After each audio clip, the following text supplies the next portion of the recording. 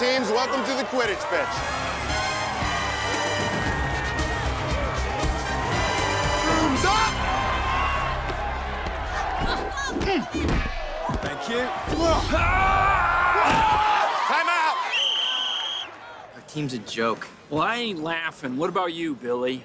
Hell no. This reminds me of a little girl from a steel town who had the dream to dance. The deck was stacked against Alex. You know how she overcame those odds? By believing in herself and trying. She literally had to become a maniac. She had to strip down to nothing. She had to sit in that chair and arch her back, and she pulled a chain to nowhere and doused herself with water. Are you talking about Flashdance? The movie from the 80s? Yeah, you're damn right I am. She believed so hard she spun. Oh, and she spun. And she spun, and she spun, and she spun herself into that dance school. She spun herself into our hearts. Now, in the second half of whatever the hell you guys call this game, let's put on our leg warmers and let's dance our asses off. Get in here, you little lovable maniacs.